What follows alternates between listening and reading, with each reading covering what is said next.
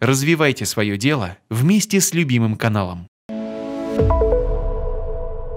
Недавно к нам в редакцию обратились с просьбой осветить инцидент, случившийся в городе Кингисепп, что недалеко от Санкт-Петербурга.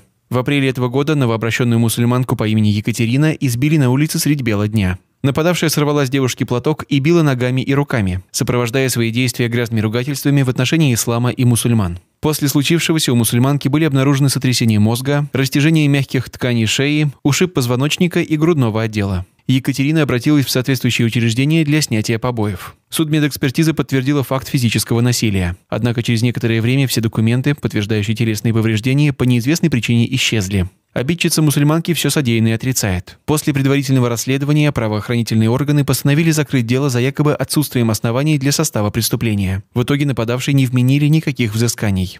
Многие предполагают, что это обычный конфликт двух девушек, но это не так. Я пыталась доказать обратное, что началось это все год назад, когда я только надела хиджаб. Но каждый слышит так, как он это хочет слышать. Ситуация гуляет в полном искажении по сегодняшний день. Она сказала, как вы меня достали, понаехали, валите в свой ислам. Астафирула, после чего был сорван хиджаб и были удары головой затылком об дверь автобуса. Дальше я ничего не помню. Месяц я проходила в корсете, были ушибы и сотрясение мозга. Альхамдулиля, это вылечило. Дело все тянется, приходят отписки о том, что нет состава преступления. То они выписки теряли с приемного, свидетелей даже не опросили по сей день.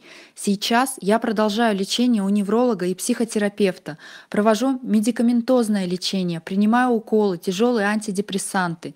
Из-за случившегося я потеряла единственный доход – работу. Все сразу отвернулись от меня, накопила долги по оплате за жилье.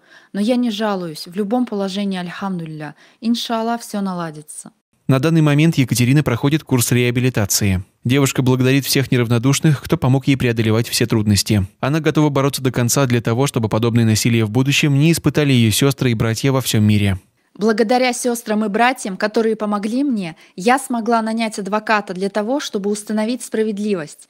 На моем печальном примере другие должны понять, что нельзя гнобить человека потому, что он не такой, что религия — это самое дорогое, что не надо ее трогать, оскорблять. Для кого-то это просто ерунда, а для кого-то целый мир. Я должна отстоять свои права, чтобы потом, не дай Аллах, подобное повторилось с ближним, с сестрой по вере, братом или, не дай Аллах, с ребенком в школе.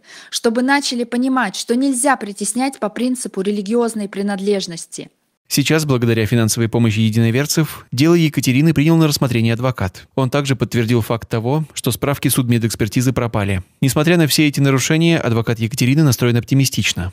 Ну, из тех документов, которые она представила, например, постановление э, органа полиции, собственно говоря, здесь подтверждаются все эти обстоятельства, связанные с этим происшествием. Из-за чего оно произошло, что Лукина э, делала в отношении Екатерины и так далее.